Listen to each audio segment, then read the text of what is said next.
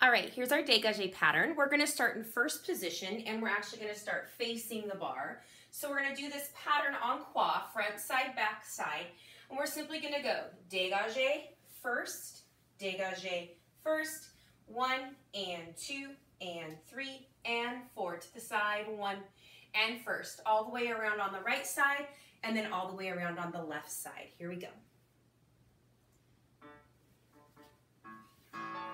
To the front, out, in, out, in, out, in, two, three, four, to the side. Make sure those legs are nice and straight.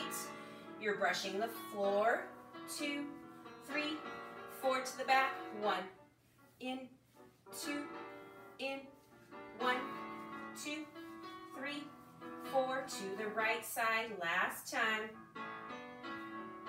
one, two, three, left side to the front, one, and two, and one, two, three, four to the side, one, and two, and one, two, three, to the back, lifting up tall, closing that rib cage, one, two, three, four, and a one, two, one, two,